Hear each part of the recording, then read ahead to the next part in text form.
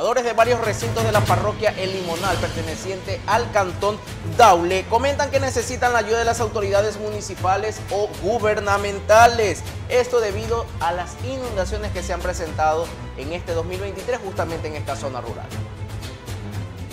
Son muchos los recintos pertenecientes a la parroquia limonal del Cantón Daule que están prácticamente bajo el agua debido al fuerte temporal invernal. Por tal motivo, moradoras de esta zona rural comentan sobre estas afectaciones. Aquí necesitamos bastante ayuda porque hay personas que realmente están en agua, desde el agua en la cintura, y algunas casas que, algunas casas que están por decir el sector de donde el Firulo, esa casa nadie la ha tomado en cuenta, el señor está bastante viejita la casita, se la ha ido de lado y también tenemos la autoridad de las escuelas, por favor, que este, las clases no eh, sigan adelante porque está el agua subiendo, en la escuela hay agua, antes yo acabo de ir a la escuela, hay agua bastante en la escuela y no está acta la escuela para que los niños vayan a las clases. ¿Están pidiendo que vayan a clases de pronto? Eh, sí, están dando que vayan a clases, pero para que no vayan a clases porque los niños, imagínense aquí uno en agua, ir de nuevo a la escuela en agua, no es justo porque tantas enfermedades.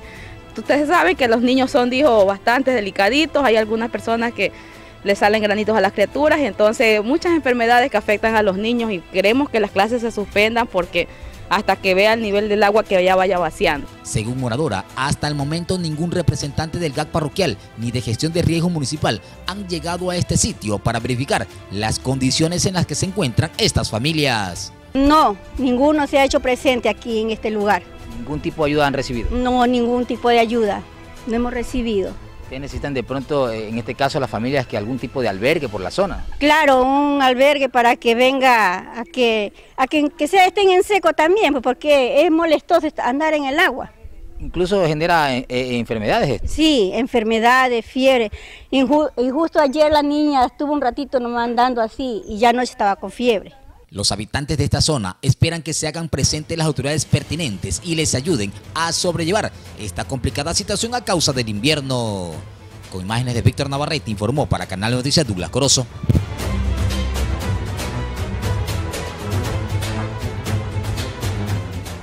7 de la mañana con 45 minutos. Oiga, ver este tipo de inundaciones me llama mucho la atención y me recuerda lo que se vivió allá por el año 97, 98, 99 con el fenómeno del niño. Hace muchos años no se veían inundaciones de este tipo de magnitud. De magnitud, sí, esa es la palabra, ¿no? Es algo que tal vez usted ve inundado y al siguiente día bajaba el agua, pero esta vez ha sido constante y ha sido, creería yo, que hasta peor que en años anteriores. Hay que ver también qué pasa. La gente está muy preocupada porque dicen ellos, si así estamos en esta temporada, no pensamos cómo vamos a vernos en el mes de junio que supuestamente vendría la corriente del niño, pero este momento es una información extraoficial. No ha sido oficializada de parte del INAMI, pero de igual forma hay que estar pendiente. A ver si producción me ayuda con estas imágenes porque la gente nos ha pedido así, a gritos, nos han enviado mensajes, nos envían que por favor estemos en esos puntos. Ayer Douglas estuvo en el lugar y es una lástima, es una lástima de ver cómo se encuentra actualmente estas familias. No son dos familias, son más de 10 familias afectadas. Son muchísimas familias que son afectadas y no solo el sector que Douglas estuvo, porque también enfatiza otros sectores. Piñal de Abajo es un sector más que está afectado. El Laurel, que en Laurel tiene otros sectores también que están afectados, que serían zonas ya aledañas a esta parroquia del Cantón Daule. Según gestión de riesgo del municipio del Cantón Daule, que la verdad hemos estado hace días molestando con la de obtener una entrevista con ellos para que nos den mayor información, si ya han ido a las zonas vulnerables, si están en las zonas afectadas, que nos den una estadística más o menos de cuántas familias están siendo afectadas o cuántas familias ya han sido colocadas en sitios estratégicos para evitar también que se enfermen. Así es. Ya, pero gestión de riesgo lo que sabe decir es que el tema es competencia también de ellos, pero netamente quien tiene que tener una planificación, quien tiene que tener el trabajo ya listo, es los GAC parroquiales, según gestión de riesgo. Que tiene que tener los GAC parroquiales ya las casas eh, acogedoras, como dicen ellos, unas casas que realmente estén listas para albergar a los damnificados. Tengo entendido que hoy eh, el COE o gestión de riesgo se va a reunir con, con presidentes parroquiales, algo así, para buscar Pero hay que, hay soluciones. que tener claro en algo, ¿no? Que muchas veces yo no defiendo a nadie porque no soy abogado, solamente digo lo que he visto, lo que he escuchado, lo que he conversado, lo que dialogo. Los GAT parroquiales, primero, cre- creería yo que no tienen el presupuesto necesario para, para poder albergar a estas personas. Segundo, creo que no tienen ni siquiera el espacio. Y tercero, yo creo que tenemos que conocer más a fondo cuáles son las competencias directas de los departamentos de gestión de riesgos del municipio, porque si me van a decir que no es competencia mía, que no me pertenece o que yo no tengo nada que hacer ahí, Y entonces discúlpenme. Ahorita la gente no necesita saber si es el GAT parroquial, Ah, No, no me importa a quién le si es pertenece. gestión de riesgo. No, no, no, no, no. La gente quiere verlos. Actuar. Verlos en el lugar de los hechos, actuando, ayudándolos, colocándolos en albergues.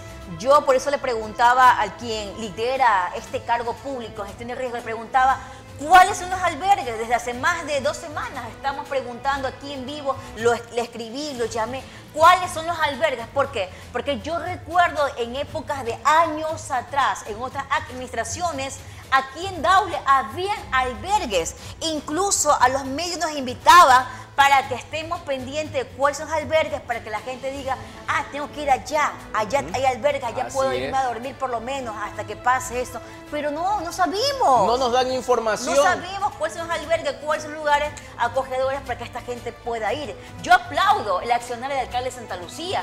Yo realmente resalto el trabajo del abogado Exxon Alvarado Aroca. No es porque realmente lo conozcamos, que, ay, que, que- que es amigo. No, no, no, no. Lo, lo aplaudo como autoridad. Porque él, antes que pasara esto, antes que pasara lo que, que realmente se nos las familias, estuvieron ahí, ahí rápido, habitando ya, abriendo albergues, aperturando albergues para que la gente esté. Claro que como ustedes deseamos hacer mucho más, muchísimo más, pero lastimosamente Santa Lucía realmente está totalmente Es uno de los más bajo el afectados a agua. nivel del Guaya. Y se ha podido hacer hasta lo que más se pueda. Todavía se lleva a sectores porque no se ha podido llegar, porque también esperan pues ayuda de la parte gubernamental, del MIE, de salud pública. También se han unido Cruz Roja también de Santa Lucía, Cuerpo de Bomberos de Santa Lucía. Pero Oiga. yo acá, acá no veo accionar Oiga, pues. he visto inclusive alcaldes que todavía no están posesionados y también se andan moviendo. Y ojo, son alcaldes Ahora. que todavía no manejan recursos. Ahora, yo como alcalde, yo realmente digo, no me preocupo realmente al 100% porque tengo mi equipo de trabajo. Exacto. Tengo gestión de riesgo trabajando. Gestión de riesgo en Santa Lucía han estado en todos los sectores donde más han podido hasta el momento, porque realmente también faltan otros sectores, como La Fortuna, falta Fátima, faltan también otros lugares más que todavía no ha llegado la ayuda, pero están ahí. Y gestión de riesgo no ha dicho, oiga, oiga, si no es periodista, es que esto le compete parroquiales de, de ciertas parroquias o de ciertos lugares de, de- de Santa O Lucía. O de la presidenta tal cosa, de tal lugar. No, están asumiendo la responsabilidad porque realmente la gente necesita, es acciones. No queremos, dicen ellos, palabras, raciones alimenticias. También ellos, eh, yo escuchaba, también yo escuchaba que decían a otro medio de comunicación nacional, porque también todos están por acá, trabajando acá en la zona, porque realmente es preocupante lo que pasa. Ellos decían el por, ¿sabes qué? ¿Quiénes decían? Los habitantes Piñal de Abajo, el por qué Daule no se decreta en emergencia por zonas rurales que se encuentran bajo agua. ¿Por qué Santa Lucía? ¿Por qué Balsar? ¿Por qué Palestina? ¿Por qué Salitre? ¿Por qué Colimes? Y acá nosotros que estamos inundados. Claro, que damos gracias a Dios que la cabecera cantonal todavía no pasa nada. No, no ha pasado. Pero en zonas aledañas, zonas rurales, sí se encuentran bajo agua. Planteles educativos, zonas rurales que se encuentran bajo agua. Han inclusive suspendido las clases y en otros se han llevado clases virtuales o se van a llevar clases virtuales justamente por las fuertes lluvias presentadas en este mes de abril del 2023 que muchos no lo esperamos. Ahora, la pregunta del millón es qué va a pasar con las zonas rurales eh, del Cantón Daule. Esperemos que sean atendidas también por las autoridades. Sea el que entra, sea el que sale, sea el que sale, sea el que Ahora. viene, sea el que próximamente va a ser, pero que se atiendan a estas personas afectadas. Ahora, hay muchos funcionarios públicos aquí en el Cantón Daule que trabajan en el municipio que siempre esperan que pase algo Para recién actuar. recién actuar. El socavón de Guarumal, usted recuerda, por hicimos supuesto. varios informes dando con esa gestión de riesgo, pasa esto, pasa esto, pasa esto, pasa esto. La gente lo pedía, la gente lo aquí, lo allá. Pasa algo, ahí recién va a tomarse la fotito, a subir en las redes sociales y ya está. El Problema asunto. resuelto. No, no, no. Así no es se trabaja. Hay que estar pendiente, hay que estar perenne. Si pasó eso, vamos a- después de tres meses a verificar que todo siga normal. Exactamente. A verificar que todo está bien. Porque realmente pasan cosas que hemos visto en los socavones y luego al año un vehículo se cayó. Se cayó ¿Por qué? y no Porque no, están inspeccionando el trabajo que se hizo ya anteriormente. Lastimosamente estamos en el lugar de la comunidad, nos ponemos en el zapato de esa gente que está bajo el agua y ver cómo están los colchones mojados, sus enseres mojados, niños que caminan bajo el agua es una pena. Por supuesto que sí, ¿no? Son imágenes que ustedes las ve exclusivamente en Canal 9 y que esperemos puedan ser tomadas en cuenta también por las autoridades de ahora. Bueno. Que se den cuenta que no solamente es otros cantones, sino también las zonas rurales del Cantón Daule. Y vámonos ahora a Colimes.